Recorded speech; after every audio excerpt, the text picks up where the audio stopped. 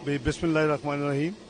असलात वसलाम या ख़ातम नबी अल्लाह ताला के फजल करम से मैं अपने मुल्क में वापस आया हूँ और मुस्लिम लीग नून के कायद मियाँ नवाज़ शरीफ और सदर और प्राइम मिनिस्टर मियाँ शवाज शरीफ ने मुझे कहा है कि मैं अपनी वज़ीर ख़जाना की जिम्मेदारियाँ कबूल करूँ। तो अलहमदिल्ला मैं पूरी कोशिश करूँगा कि पाकिस्तान जिस भंवर में मुआशी तौर पर फंसे है। हम इसको निकाले, जैसे हमने 98 99 में निकाला था, बीस, तेरह, चौदह में निकाला था इनशाला बड़ी उम्मीद है कि हम पॉजिटिव डायरेक्शन में जाएँगे।